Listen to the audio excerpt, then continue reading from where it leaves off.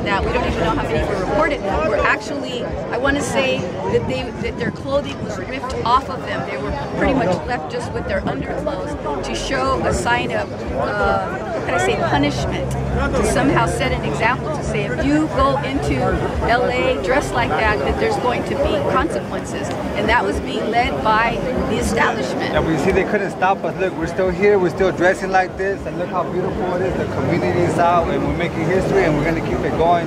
And that's what it's all about. Like you said, you got to study your, your history. Don't let it repeat itself. And we're just going to move forward, keep the style going, keep the culture alive. And, and I'm glad to um, be with Legends. Uh, heard a lot of good stuff. Hopefully one day I can be like you guys. I, I, I get involved with community too. I'm. I'm ready to fight. The fight continues and it starts with everybody.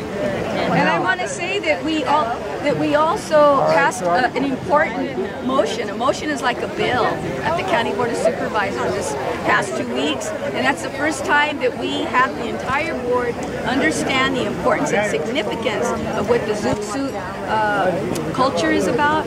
What